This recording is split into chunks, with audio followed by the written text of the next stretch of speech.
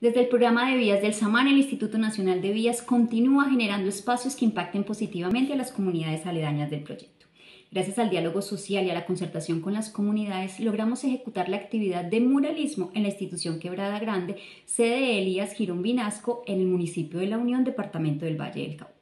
Contamos con el apoyo de la Alcaldía Municipal, Gobernación del Valle del Cauca, presidentes y presidentas de las juntas de acción comunal. Asimismo, contamos con más de 20 líderes y lideresas de la región, demostrando así que unidos construimos un mejor país.